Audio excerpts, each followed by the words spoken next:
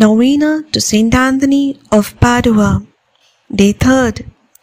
O purest Saint Anthony, who through your angelic virtue was made worthy to be caressed by the divine child Jesus, to hold him in your arms and press him to your heart, we entreat you to cast a benevolent glance upon us. O glorious Saint Anthony, born under the protection of Mary Immaculate, on the feast of her Assumption into heaven, and consecrated to her, and now so powerful an intercessor in heaven. We beseech you to obtain for us the favors we ask in this novena. Please mention your prayer request here.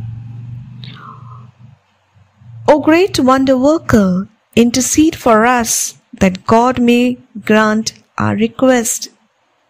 Amen.